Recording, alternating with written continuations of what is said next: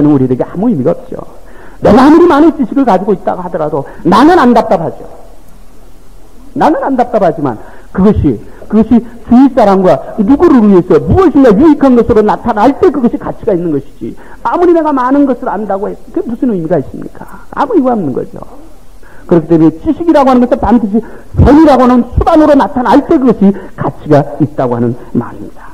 그래서 성경에서 뭐라고 말합니까?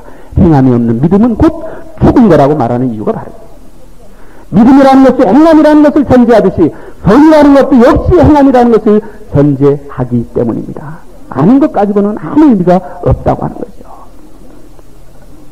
선이라고 하는 것을 말할 때 우리는 세 종류의 사람으로 구분을 합니다. 첫째는 선에 대해서 전혀 알지 못하는 사람이 있어요. 선에 대해서 전혀 관심이 없는 사람이 있습니다. 선이 나하고 무슨 상관이 있냐. 나는 오늘 그저 내가 주어진 거 내가 해서 이렇게 이렇게 해서 내가 잘 살아가고 행복하게 살아가면 되지. 선이라고 하는 것이 나하고 무슨 상관이 있냐 이렇게 생각하는 사람이 있습니다.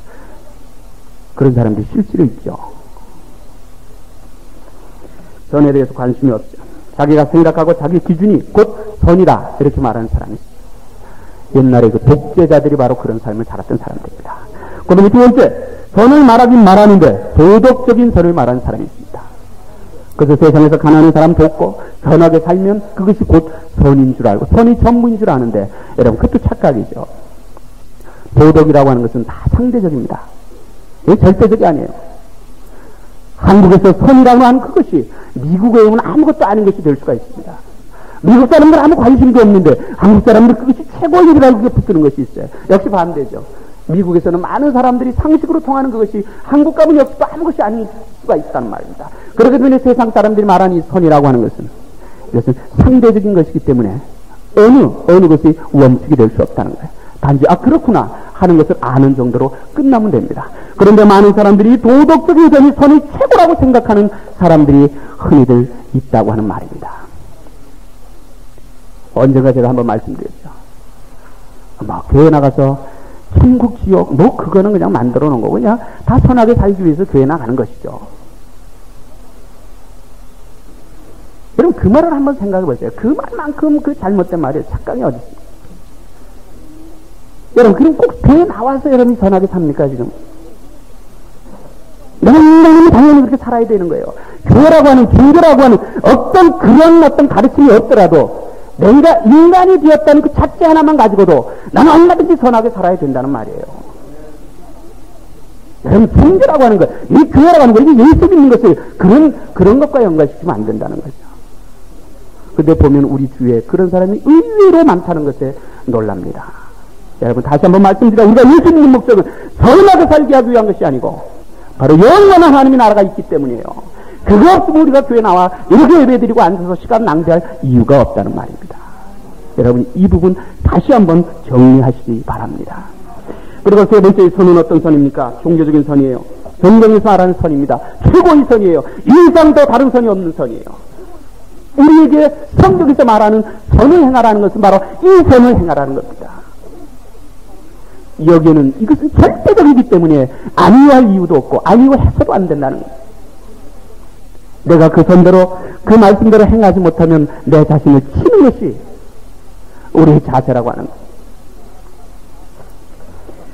하나님의 나라는 말에 있는 것이 아니라 능력이 있다고 합니다. 이 능력이라는 것이 뭡니까? 행함이죠. 행함. 우리가 하나님의 말씀을 아무리 많이 알고 있다 하더라도 그것이 우리들의 삶을 통해서 나타나지 않으면 그건 아무 의미가 없다고 하는 것입니다. 다시 본문으로 돌아오면 진리에 속했던 두 사람의 이름이 거기 나오죠. 첫째는 가요라고 하는 사람입니다. 가요라는 사람은 초대교회 때 손실적인 봉사의 삶을 살았던 사람이 사도 요한이 정말 우리가 하는 말로 입에 침이 마르도록 칭찬했던 그 사람이 바로 이 가요라고 하는 사람입니다. 3절에 보면 이런 말씀 있죠. 내가 진리 안에서 행한다 하니 내가 심히 기뻐한다. 내가 진리 안에서 행한다 하니 내가 심히 기뻐한다. 진리 안에서 행했다. 가요는 진리 안에서 행했다는 말입니다. 이 진리 안에서 행했다고 하는 말이 바로 선을 행했다고 하는 의미입니다. 선을 행했다고 하는 그 말하고 진리 안에서 행했다고 하는 그 말하고 같은 의미 말이에요. 그 당시에도 선과 악의 모습이 있었죠. 그런데 가이오는 악을 보고 산 것이 아니라 선을 보고 선을 이루면서 살았다고 하는 말입니다. 전전에 말씀드린 대로 이 세상이 악하냐 선하냐 우리가 그거 따질 거 없어요. 그 따지거든요. 그 세상의 속성이거든요. 세상을 통과하기 섞여 있게 돼 있습니다. 중요한 것은 하나님께서 하나님께서 관심을 주는 것은 환경이 아닙니다. 세상이 얼마나 악하냐, 안 악, 선하냐, 이것에 하나님이 관심 둘 시간이고. 바로 그런 악한 세상 속에서도 내 백성이 얼마나 선하게 사느냐, 얼마나 말씀대로 지켜 사느냐, 여기에 하나님이 관심을 가지고 계신다고 하는 사실을 우리는 꼭 기억을 해야 합니다.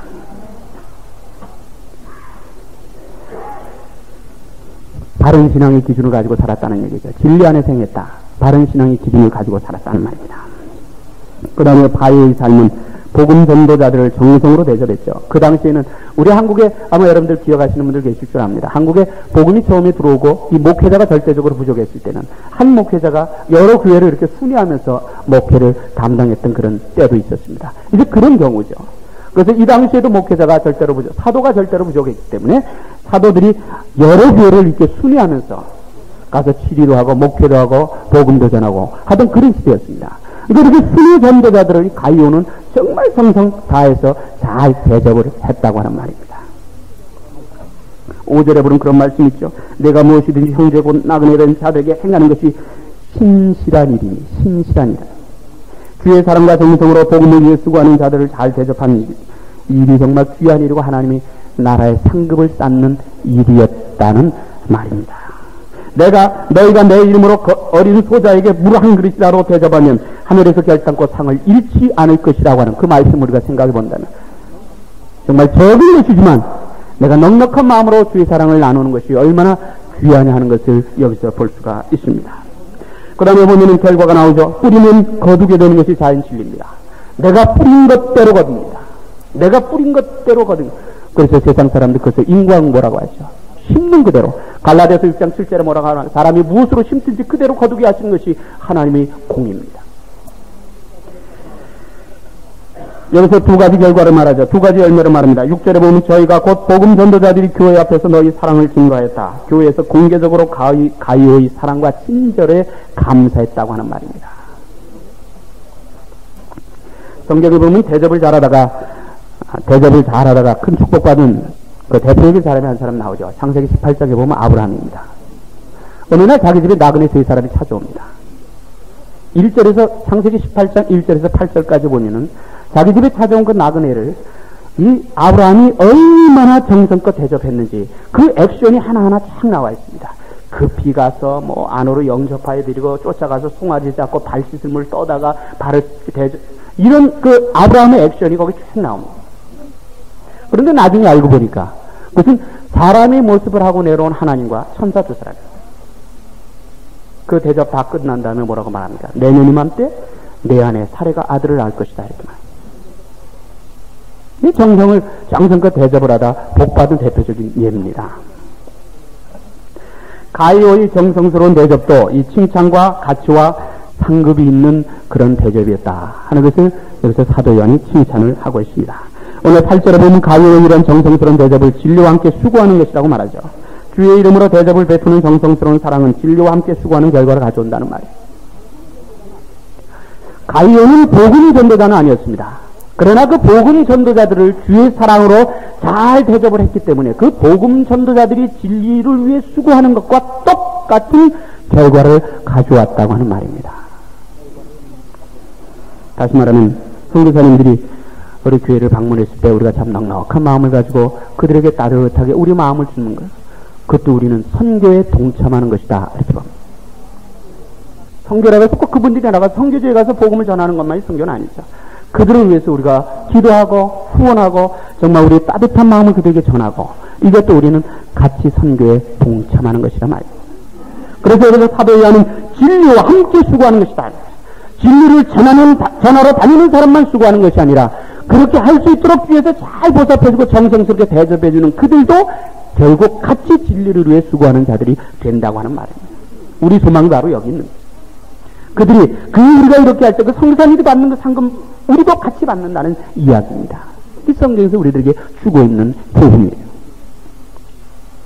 바쁜 가운데서도 우리 교회를 방문하시는 성교사님들을 여러분이 정말 따뜻한 마음으로 이렇게 맞아주시고 대접해 주시고 하는 것을 보면서 야 가위와 같은 그런 참 귀한 성도들이다 하는 그런 생각을 합니다.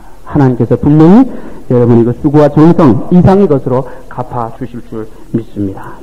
그 다음으로 볼 수 있는 사람은 12절의 데메드리오라고 하는 사람입니다. 12절 데메드리오는 무사람에게도 진리에게도 증거를 받았음에 우리도 증거한다 이렇게 말합니다. 사도 요한이 칭찬했던 이 데메드리오에 대해서는 정확한 자료와 근거가 없습니다. 그가 어떤 것으로 인해서 사도 요한에게 이렇게 칭, 찬을 받았는지 그 본문에서 말하고 않기 때문에 우리가 정확하게 알 수 없습니다만은 그러나 그 사도 요한이 칭찬했다고 하는 그 한 가지를 가지고 그의 삶이 얼마나 신실한 삶이었느냐 하는 것을 우리는 짐작해 볼 수가 있습니다. 구절에 지난 시간에 본 디오드레베와는 전혀 다른 모습의 사람이 바로 이 데메드리오라고 하는 사람입니다. 디오드레베는 교인들도 목회자였던 요한도 하나님도 그를 인정하지 않았지만 데메드리오는 여기서 무사람에게도 인정받고 진리에게도 인정받았다고 말을 하고 있습니다. 사람은 인정해 줄 때 사는 보람과 기쁨을 느끼면서 더 열심히 하게 되죠. 어린아이들도 인정해 줄 때 그 아이들이 더 열심을 가지고 하요. 그것은 애나 어른이나 마찬가지입니다. 인정해 준다고 하는 것은 무엇입니까? 그 사람의 가치, 그 사람의 필요성을 인정해 준다는 얘기죠.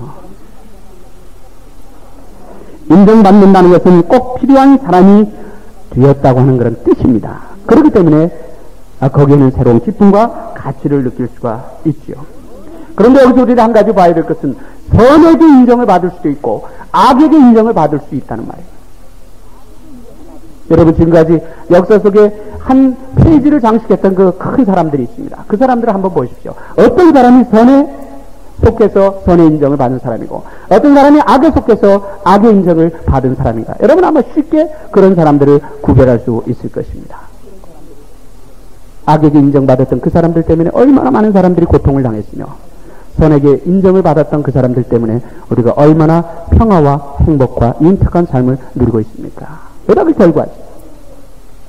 대통령을 뽑을 때 또는 국회의원을 뽑을 때 80% 내지 90%의 지지를 받고 당선이 되는 사람이 있는가 하면 20% 30%의 지지를 받고 당선되는 사람이 있습니다. 뭐 당선돼서 국회의원이 되고 대통령이 되는 것은 마찬가지죠. 80%로 당선되나 뭐 20%로 당선돼 당선은 되는 거지만 그러나 중요한 것은 일할 때 역량이 모아지지 않는다는 얘기. 많은 사람이 힘을 모아줘야지 일을 하는 것인데 그 힘이 모아지지 않으니까 당선된 후, 그 후가 문제입니다. 그런 게 우리 많이 보여요. 가능하면, 가능하면 우리는 많은 사람들에게 인정받는 것이 좋습니다. 많은 사람들에게 우리가 할 수만 있으면 인정을 받을 수 있어야 된다고 하는 말입니다. 세상에서 살아가는 삶을 우리는 다시 말해서 관계라 이렇게 말합니다. 우리 어른들이 가끔 그런 말씀 하시죠. 아, 너는 이제 철이 들어간다. 너는 이제 철이 들어간다. 흔히 인생의 산전수전을 겪었다. 네? 이런 얘기도 우리 가끔 합니다. 아, 많이 성숙되어 갔다. 성장했다. 이런 말 하는데, 그것은 결국 한마디로 뭡니까? 그만큼 인간 관계가 더욱더 넓어지고 깊어졌다는 말입니다. 사람이 산다고 하는 것은 한마디로 말하면 관계입니다. 위로는 하나님과의 관계고, 옆으로는 우리 함께 살아가는 우리 이웃들과의 관계입니다. 이걸 무시하고 살아서는 안 되지. 한국에 있을 때 제 친구 한 아가 있었는데, 그 친구 날마다 그냥 입만 열면 그래요. 아, 자기는 얼마든지 자기는 혼자 살 자신이 있대요. 나는 얼마나 혼자야. 나는 내가 계획 세워갖고 내가 얼마든지 혼자 살 자신이 있어. 나는 남에게 도움 줄 필요도 없고 나 도움 받을 필요도 없다. 여러분 그 집에 한번 생각해보세요. 그 말이 얼마나 어리석은 말입니까? 우리가 어떻게 남의 도움 없이 혼자 살아요? 여러분 아침 식사는 누가 갖다 줬습니까? 지금 입는 옷은 여러분 어디서 얻었습니까? 여기까지 차 타고 올 때 그 차는 어떻게 해서 여러분이 구했습니까? 우리는 절대 혼자 못 살아요. 항상 관계를 우리는 떠나서는 살 수가 없습니다. 관계 속에 태어나서 관계 속에 살다 관계 속에 죽는 것이 바로 우리 인간이라 말이에요. 그렇기 때문에 성경에서는 계속해서 그걸 내 하나님을 사랑하고 하나님과 관계죠. 내 이웃을 내몸과 같이 사랑하라. 이웃과의 관계를 말합니다. 이것이 우리들이 마음에 정립이 되지 않고는 우리는 바른 신앙을 신앙의 일을 걸어갈 수가 없죠. 인생이라고 하는 그 관계라는 것을 여러분 꼭 기억하세요. 그렇기 때문에 우리 주위 사람들로부터 인정을 받고 이거 참 중요하다는 말입니다. 하나님의 은혜 속에서 우리가 살아가죠. 주위 사람들이 도움 속에서 그러니까 우리는 도움을 주기도 하고 도움을 받기도 하고 살아가는 것이 우리 인생입니다. 그래서 옛말에 어떤 말이 있습니까? 우리 옛말에 독불장군은 없다 그랬어요. 독불장군. 그래서 어떤 장군이 독불장군인지 모르겠습니다. 어떻게 생겼는지 모르겠지만. 자, 이 관계를 우리 하나님과 이웃과의 관계. 데메드리오는 바로 이 무사람에게 인정을 받았다는 말입니다. 하나님과의 관계도 좋았고 이웃 사람들과의 관계도 좋았다는 말에 그러니까 사도 요한에게 인정만 받은 것뿐이 아니라 오늘 2000년이 지났는데도 오늘 우리들과도 인정을 받고 있는 거 아닙니까? 오늘 그 데메드리오를 통해서 우리가 정말 인정받는 삶을 살아야 되겠다는 그 말씀을 지금 나누고 있는 거예요. 이게 결국 2000년 후에도 인정을 받고 있다고 하는 말입니다. 무사람에게 인정받았다고 하는 것, 그의 생활에 대한 것으로 볼 수 있고, 요한에게 인정받았다고 하는 것, 그의 신앙에 대한 것으로 볼 오늘 본문에서 분명히 말하진 않지만, 한번 사도 요한이 칭찬하니 데메드리오가 어떤 삶을 살았기 때문에, 어떤 신앙생활을 했기 때문에, 사도 요한이 그렇게 칭찬을 했을까 하는 것을 한번 우리가 오늘, 오늘 교회 생활하는 그런 면에서 추측을 해볼 수가 있습니다. 네 가지로 볼 수 있죠. 첫째는, 데메드리오는 분명히 자기 신앙의 원칙이 분명히 서 있던 사람이었을 거예요. 자기 신앙의 원칙이 분명히 서 있던 사람입니다. 이 사람이 이런다고 해서 일로 가고 저 사람이 저런다고 해서 저쪽으로 휩쓸려 다니는 그런 부류가 아니고 선과 악을 분명히 판단할 수 있는 자기 신앙의 원칙이 분명히 서 있었기 때문에 그런 인정을 받았을 것으로 생각을 합니다. 그런데 두 번째로 데메드리오는 자기 교회 생활에 성실했을 거예요. 정말 교회를 잘 섬기는 그런 이제 본이 그런 본을 보이는 사람이었을 것입니다. 그 다음에 세 번째 우리가 생각할 수 있는 것은 자기 맡은 일에 충성을 다하는 사람이었을 겁니다. 그래서 어떤 일을 맡았는지 자기 사명이 무엇있는 줄 알지 못하지만 정말 그것을 자기가 충성을 다해서 하나님을 섬기는 그런 자세로 그 사명에 충성했을 것이다. 이렇게 생각을 해볼 수가 있습니다.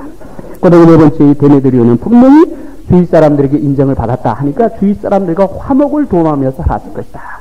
주위 사람들하고 같이 화평을 나누었지 뭐 화평스럽게 화목을 도모하며 그 소위 말하는 피스메이커로서의 삶을 살았을 것이다. 그렇기 때문에 몇 사람이 그를 인정하지 않았을까 하는 추측을 한번 해볼 수가 있습니다. 물론 이거는 어디까지나 객관성이 없죠. 한번 지금 우리가 이 지금 교회 생활이라고 하는 이것을 통해서 한번 추측해 본 그런 것에 불과합니다만은 분명히 이런 것들이 데메드르에게는 있었을 것으로 생각을 합니다. 그 다음에 12절에는 그는 진리에게 인정을 받았다고 말합니다. 이 말, 진리에게 인정을 받았다는 말. 진리가 증거하였다는 말. 이 말은 진리에 합당하게 살았다는 말입니다. 진리, 진리는 뭡니까? 하나님의 기준과 원칙을 말하죠. 하나님의 기준과 원칙에 맞게 살았다고 하는 거예요. 참 어려운 삶입니다. 부족한, 허물 많은, 연약한 우리 인간들이 어떻게 하나님의 기준과 원칙에 딱 맞게 살아갈 수가 있겠습니까? 참 어려운 일이죠. 참 어려운 일입니다. 그러나 어렵기 때문에 축복이 있는 거 아닙니까? 어렵기 때문에 귀한 거 아닙니까? 귀하기 때문에 우리는 어려워도 그렇게 살아야 된다고 하는 말이죠. 여러분 다시 말씀드립니다. 신앙생활 어렵습니다. 여러분 신앙생활이 어렵다는 것을 마음에 느낍니까? 여러분 신앙생활 어려워요. 그리고 신앙생활은 어렵게 해야 합니다. 신앙생활을 저렇게 쉽게 하면 안 돼요. 신앙생활을 쉽게 해갖고 신앙이 잘하지 않습니다. 여러분 꼭 기억을 하세요. 신앙생활로 내가 어렵게 해야 그 신앙이 자라고 신앙의 가치를 내가 느끼고 그 어려움을 통해서 하나님이 주시는 그 기쁨과 평안이 내 마음속에 있는 것이지 신앙생활 절대로 쉽게 하는 사람 중 신앙 제대로 자는 사람을 제가 거의 보지 못했습니다. 하나님의 기준과 원칙에 맞게 산다고 하는 것이 이렇게 어렵습니다만은 그러나 우리는 해야 된다는 말이에요. 왜? 그것이 우리가 해야 가장 유일한 생명의 영원한 길이기 때문입니다. 요한일서 1장 요한일서 5장 7절에 보면 이런 말씀이 있죠. 증거하신 이는 성령이시니 성령은 진리라. 증거하신 이는 성령이시니 성령은 진리라고 말해요.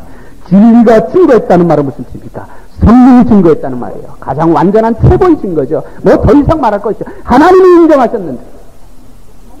하나님이 인정하셨는데 우리가 거기 말할 것이 무엇입니까? 더 이상의 설명이 필요 없는 그것이 바로 진리가 증거하였음에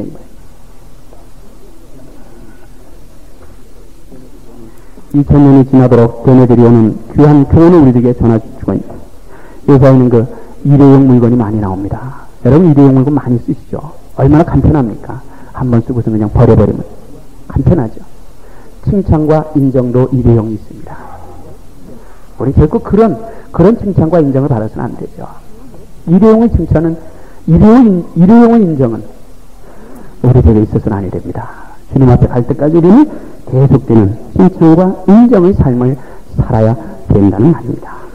우리 주위에 누구를 만나느냐에 따라서 우리 삶은 달라집니다. 나와 함께 신앙의 길을 걸어가고 있는 사람, 나와 함께 인생의 길을 걸어가고 있는 사람이 어떤 부류의 사람이냐에 따라서 내 모습이 달라진다고 하는 말입니다. 그렇기 때문에, 그렇기 때문에 까마귀 노는 곳에 백로가 가서는 안 되는 겁니다. 자기 주위 삶들, 어떤 분위기 속에서 내가 믿음의 길을 걸어가고 어떤 분위기 속에서 내가 인생의 길을 걸어가느냐에 중요합니다. 선한 사람을 만나면 선한 쪽으로 가고 악한 사람을 만나면 악한 쪽으로 갑니다. 신앙생활 처음 하는 사람들도 역시 마찬가지죠. 그 사람이 어떤 부류, 어떤 부류의 사람들과 함께 처음 신앙생활을 시작했느냐. 이것이 그 사람의 평생을 좌우합니다. 굉장히 중요한 예외가 없습니다. 오늘 본문에 나온 세 사람을 살펴보았습니다. 어떤 경우에도 우리는 디오 드레바와 같은 사람이 되어서는 안 됩니다. 믿음의 사람 가이오가 주님을 대접하는 마음과 정성으로 복음 전도자들을 대접한 것처럼 주님의 이름으로 사랑과 정성을 따뜻하게 나누는 넉넉한 삶이 우리들에게 있어야 합니다. 이것이 바로 진리를 위해 수고하는 삶이라고 말을 합니다. 데메드리오와 같이 밑사람에게도 요한에게도 그리고 성령에도 인정을 받는 귀한 삶이 우리 삶이 되어야 될 줄 압니다. 이러한 삶이 우리 모두의 삶이 주님의 이름으로 축원합니다. 기도드리겠습니다. 전능하신 하나님 은혜와 사랑을 감사합니다. 지나간 한 주간도 저들 지켜 오늘까지 오게 하시고 오늘도 말씀을 통하여 이 데메드리오와 가이오를 통해서 귀한 교훈을 얻게 하신 감사합니다. 우리도 그러한 삶을 살기를 원합니다. 하나님께 인정받고 주위 사람들에게 인정받고 또 우리 진리 인정받고 그러므로 하나님의 영광을 증거하는 복된 삶을 살 수 있도록 우리 모든 성도들에게 결단과 헌신이 아름다운 역사를 더하여 주옵소서. 하나님 우리가 같이 믿음의 길을 걸어가고 있는데 서로 격려하며 서로 위로하며 하나님 저희들에게 허락하신 것을 같이 이루어갈 수 있는 귀한 믿음의 공동체가 될 수 있도록 하나님 우리 모두에게 은혜를 더하여 주시옵소서. 미사고 예수님의 귀하신 이름으로 기도드리옵나이다. 아멘.